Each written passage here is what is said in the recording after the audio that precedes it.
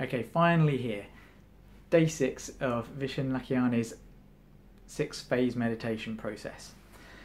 Now, the first few part, the first five parts of the meditation process make up the bulk of the whole thing. And that's the sort of 15, 16, 17, 18, 19 minutes, however long you want. The last 30 seconds are all about what Vishen calls the blessing.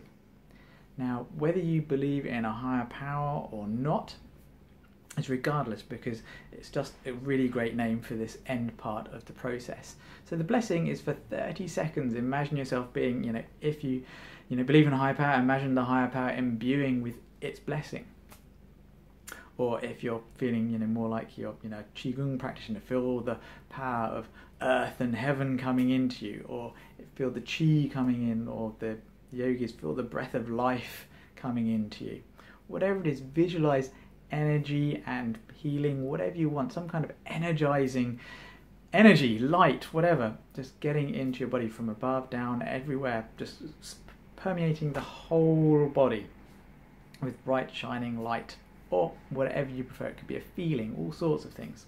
But it's best spend the last 30 seconds of the six phase meditation just filling yourself with energy so that you're ready to go, especially if you're doing this first thing in the morning which is a great time to do it because it sets your whole day up, especially if you spent the night before doing something very simple as well, and that's planning out your day about what you're going to do.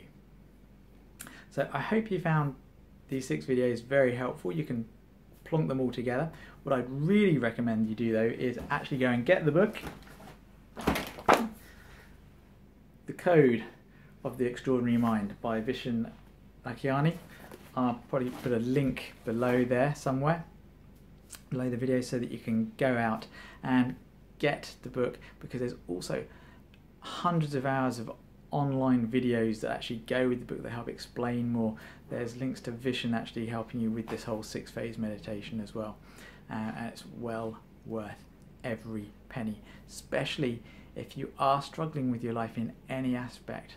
Um, if you're one of if you know me, it's probably because some kind of health problem that you've come to me in the first place. So start visualizing yourself as the healthy, perfect person that you want to be. Be well.